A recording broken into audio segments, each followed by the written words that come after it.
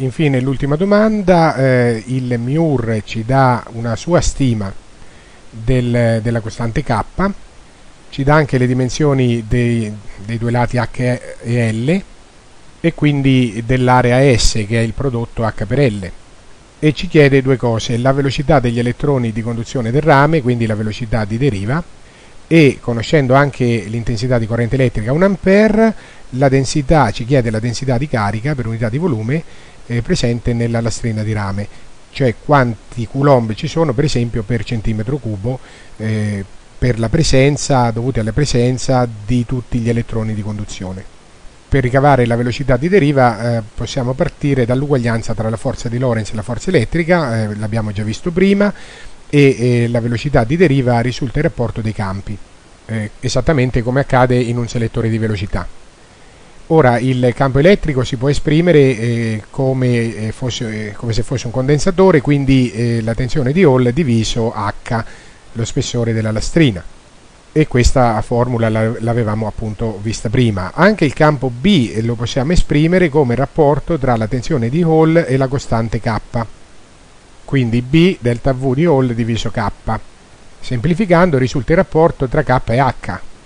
La costante K ce la dà il MUR il valore di H è un millimetro, cioè lo spessore della lastrina, e perciò questo calcolo fornisce direttamente 9,1 per 10 alla meno 4, cioè da vedere l'unità di misura che ci aspettiamo essendo una velocità di deriva eh, metri al secondo. E infatti è così perché volte su metro lo ricopio, al posto di Tesla scrivo newton su ampere metro, metri si semplifica, al posto di ampere scrivo coulomb al secondo, volt per coulomb è joule, questo lo possiamo ricordare dalla formula dell'energia potenziale elettrostatica U, U maiuscola, uguale Q per V, quindi la particella carica per il potenziale, cioè Coulomb volt. A sua volta Joule è eh, Newton per metro perché Joule è l'unità di misura del lavoro, forza per spostamento.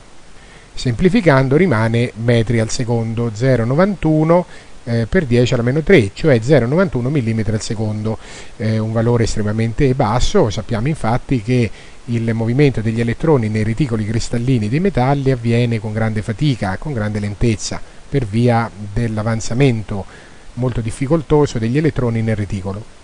In questo caso gli elettroni non percorrono nemmeno un millimetro al secondo. C'era anche un altro modo per calcolare questa velocità di deriva come rapporto dei campi quindi siamo sempre qua al campo elettrico sostituiamo delta V su H eh, però eh, al posto del campo B immaginiamo per esempio 0,100 Tesla e, immaginiamo un valore eh, a, a, caso. E andiamo a stimare la tensione di Hall corrispondente a quel valore scelto di B.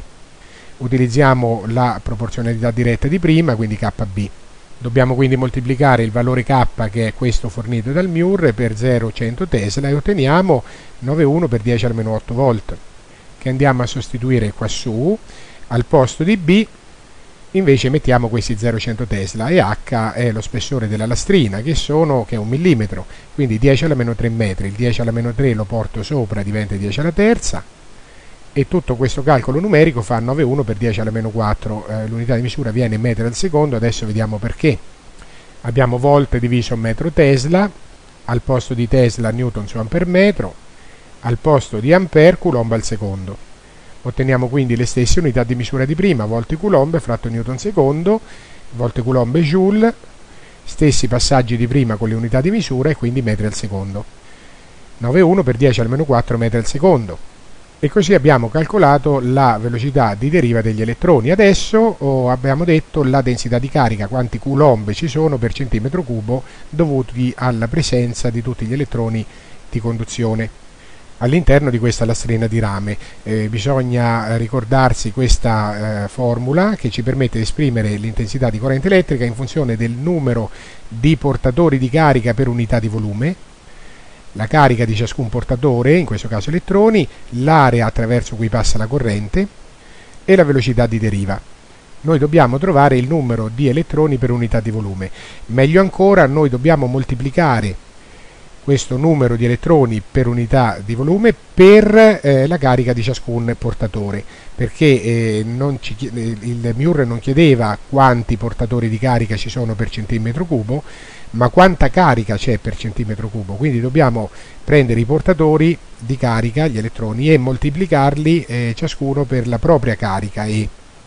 Ora, se noi volessimo trovare prima eh, il numero di portatori per unità di volume, con la formula inversa dovremmo sostituire quindi eh, un ampere alla corrente elettrica, eh, l'area H per L è 20 mm quadrati e dovremmo svolgere questo calcolo ma mh, mm, noi dobbiamo poi rimoltiplicare per la carica dell'elettrone perché quello che ci serviva era la densità di carica per unità di volume non la densità di elettroni. La densità di carica indicata con la lettera greca ρ quindi quando moltiplichiamo per E eh, rimane soltanto I diviso eh, SVD quindi questo è il calcolo che dobbiamo fare la corrente elettrica eh, diviso l'area eh, attraver attraverso cui passa la corrente 20 mm quadrati e diviso la velocità di deriva 0,91 mm al secondo. I secondi si semplificano, eh, rimane Coulomb e rimane sotto millimetri cubi. Giustamente infatti il risultato sarà una carica per unità di volume, Coulomb ogni millimetro cubo. Ci ho messo anche il segno meno perché gli elettroni sono cariche negative e quindi la densità di carica sarà negativa questo calcolo porta eh, questo valore mh, mm, che è più comodo esprimere però eh, in coulomb al centimetro cubo. Siccome un centimetro cubo sono 1000 millimetri cubi eh, ci sarà una quantità di carica mille volte maggiore. Quindi sposto la virgola di tre posti il risultato è questo. Ci sono 55 coulomb di carica negativa dovuta ai, agli elettroni liberi dentro eh, il rame ogni centimetro cubo di rame